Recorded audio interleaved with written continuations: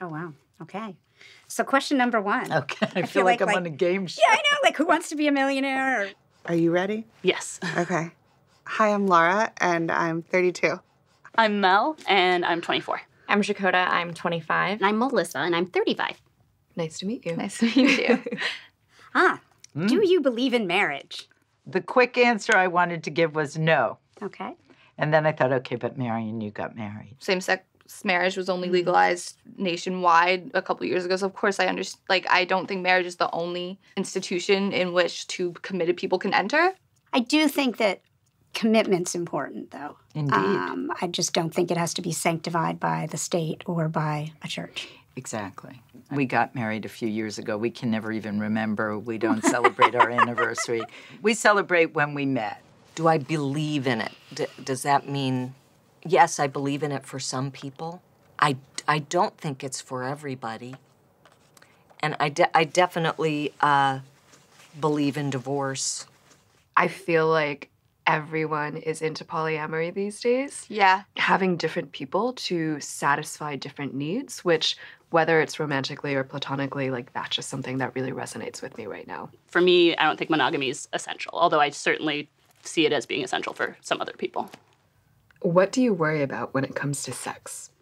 I've had more male partners than female partners, and most of my long term relationships have been with men. And so I get very, like, in any situation, like involving dating or having sex with women, I get so nervous because you get better at sex by doing it. But then if there's this litmus test, then how do you ever pass? I actually was going to say, like, similarly, like, was I good enough? What are misconceptions about sex that you've managed to let go of? That it's the most important thing. I didn't know that women could ask for what they wanted. I thought it was just something that happened kind of organically and that nobody discussed. I was raised Catholic. So those Catholic burdens I've definitely let go of.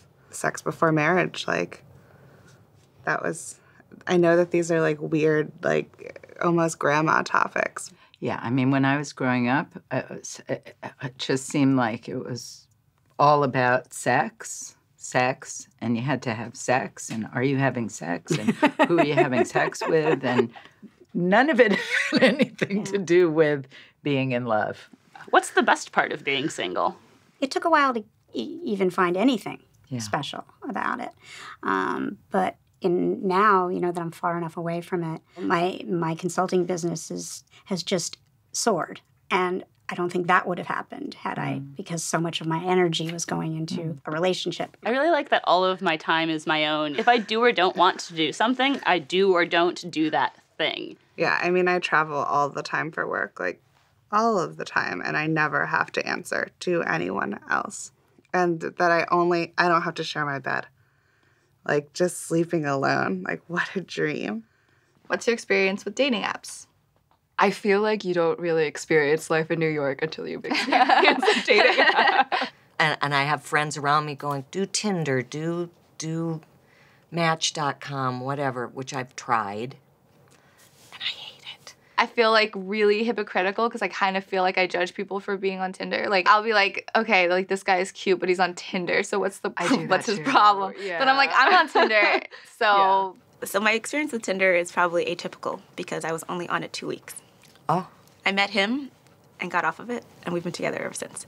that first meeting, did you kind of know? There was something Did you go- there there and from the first meeting. We closed down the restaurant. We talked for four hours. You got me thinking about going back on those dating sites.